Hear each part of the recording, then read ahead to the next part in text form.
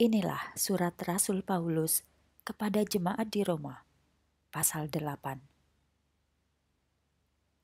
Hidup di dalam roh. Dengan demikian, sekarang tidak ada penghukuman bagi mereka yang menjadi milik Kristus. Roh yang memberi hidup itu, yang menjadi milik saya oleh karena Yesus Kristus, telah membebaskan saya dari hukum dosa dan maut yang sangat mengerikan kita tidak diselamatkan dari cengkeraman dosa hanya dengan mengenal hukum-hukum Allah, karena kita tidak dapat menaatinya. Tetapi Allah melaksanakan rencana lain bagi keselamatan kita. Ia mengutus anaknya sendiri dengan tubuh jasmani seperti kita. Bedanya, tubuh kita penuh dosa dan menghancurkan kuasa dosa atas kita dengan jalan menyerahkan dirinya sebagai kurban bagi dosa kita. Jadi, sekarang kita dapat menaati hukum-hukum Allah, asal kita mengikuti Roh Kudus, serta tidak lagi hidup menurut tabiat lama yang jahat dalam diri kita. Orang yang membiarkan diri dikuasai oleh tabiat yang rendah hanya hidup untuk menyenangkan diri sendiri.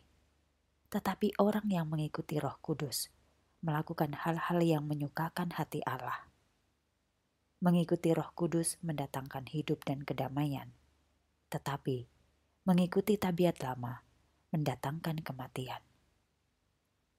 Sebab tabiat lama yang penuh dosa dalam diri kita itu bertentangan dengan Allah. Tabiat itu tidak pernah dan tidak akan taat kepada hukum-hukum Allah. Oleh karena itu, orang yang masih di bawah kekuasaan tabiat lama yang penuh dosa dan cenderung untuk mengikuti keinginan lama yang jahat, tidak mungkin dapat menyukakan hati Allah. Tabiat baru, tetapi saudara tidak demikian. Saudara dikuasai oleh tabiat baru. Jika roh Allah hidup di dalam saudara, dan ingatlah bahwa barang siapa tidak memiliki roh Kristus yang hidup di dalamnya, ia sekali-kali bukanlah orang Kristen. Tetapi, walaupun Kristus hidup di dalam saudara, tubuh saudara akan mati karena dosa. Tetapi roh saudara akan hidup, sebab Kristus telah mengampuninya. Dan apabila roh Allah yang membangkitkan Yesus dari antara orang mati hidup di dalam saudara, maka dengan perantaraan roh ini juga ia akan menghidupkan kembali tubuh saudara yang fana sesudah saudara mati. Oleh karena itu, saudara sekalian yang saya kasihi, saudara sama sekali tidak berkewajiban memenuhi tuntutan tabiat lama yang penuh dosa itu. Sebab, jika saudara terus mengikutinya, saudara sesat dan akan binasa.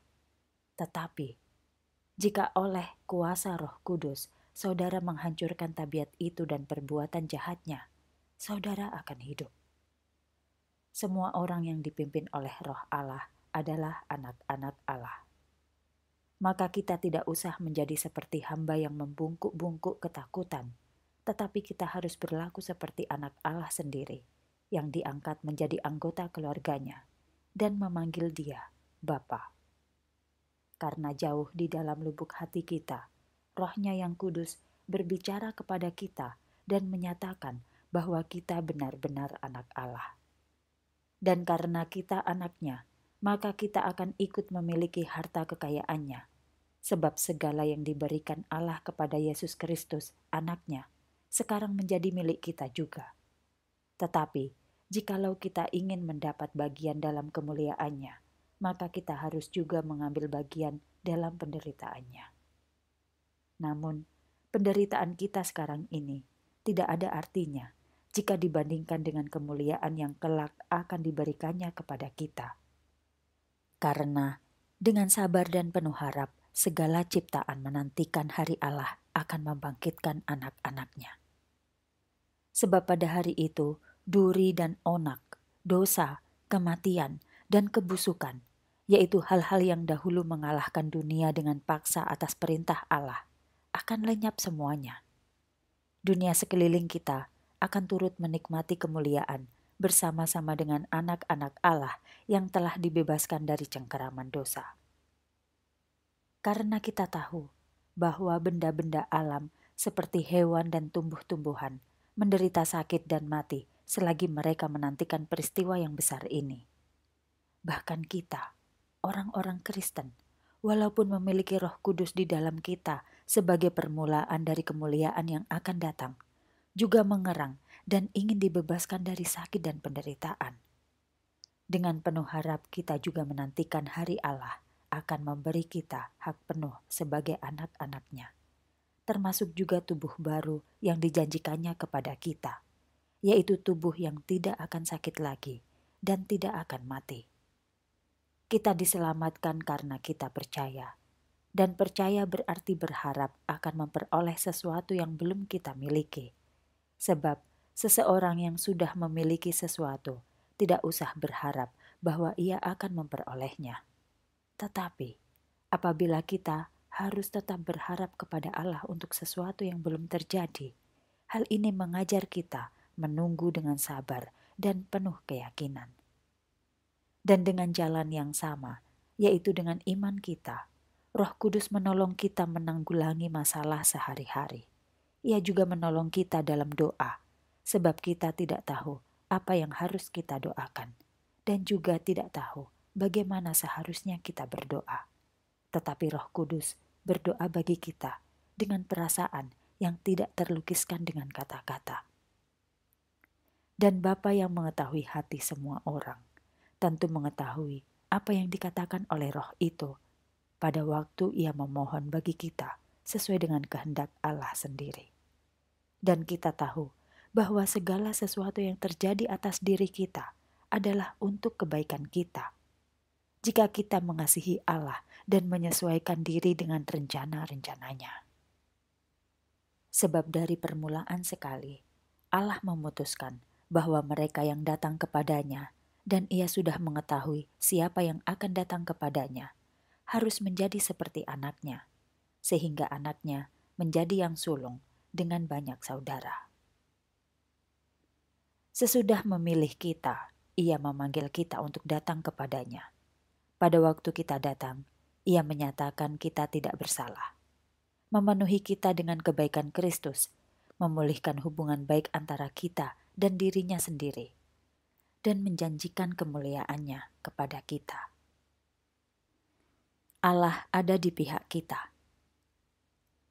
Apakah yang dapat kita katakan tentang hal-hal menakjubkan seperti ini? Jika Allah ada di pihak kita, siapa yang akan melawan kita? Karena anaknya sendiri pun tidak disayangkannya, melainkan diserahkannya demi kita semua. Masakan ia tidak memberikan segala sesuatu kepada kita? Siapa yang berani mendakwa kita yang telah dipilih Allah menjadi miliknya? Apakah Allah akan mendakwa kita? Tidak. Dialah yang telah mengampuni kita dan memulihkan hubungan baik antara kita dan dirinya sendiri. Jadi, siapakah yang akan menghukum kita? Kristuskah? Tidak, sebab dialah yang mati bagi kita dan hidup lagi bagi kita dan duduk di tempat kehormatan tertinggi di sebelah Allah, dan menjadi pembela kita di surga. Siapakah yang akan dapat memisahkan kasih Kristus dari kita?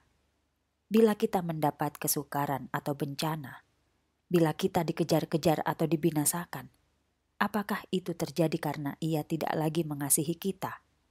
Dan bila kita lapar, tidak berduit, atau dalam bahaya, atau diancam kematian, apakah Allah telah meninggalkan kita? Tidak, sebab Kitab Suci mengatakan bahwa setiap saat kita harus bersedia menghadapi maut bagi Dia. Kita adalah seperti domba yang akan disembelih. Namun demikian, kemenangan yang gemilang akan kita miliki melalui Kristus yang sangat mengasihi kita sehingga rela mati bagi kita. Sebab saya yakin bahwa tidak ada sesuatu pun yang dapat memisahkan kita dari kasihnya. Kematian tidak, dan kehidupan pun tidak. Malaikat-malaikat tidak dapat memisahkan kita dari kasih Allah, dan segala kuasa neraka pun tidak. ketakutan kita pada hari ini, kekhawatiran kita tentang hari esok, atau di mana pun kita berada, jauh tinggi di langit atau di dasar samudera yang paling dalam. Tidak ada sesuatu pun yang dapat memisahkan kita dari kasih Allah yang dinyatakan oleh Tuhan Yesus Kristus ketika Ia mati bagi kita.